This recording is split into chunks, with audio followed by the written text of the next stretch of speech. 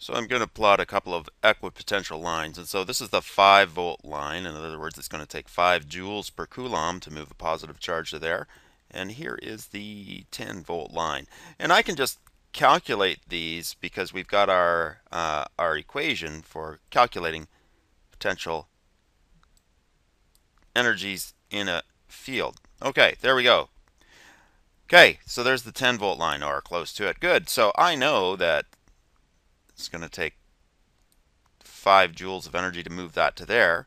And uh, if that field line hadn't disappeared on me, then I also know that it would take 10 joules per coulomb to move that particle to there. But how can I find out how much energy it takes to move this particle from the 10 volt line to the 5 volt line using our equations? So there's my question.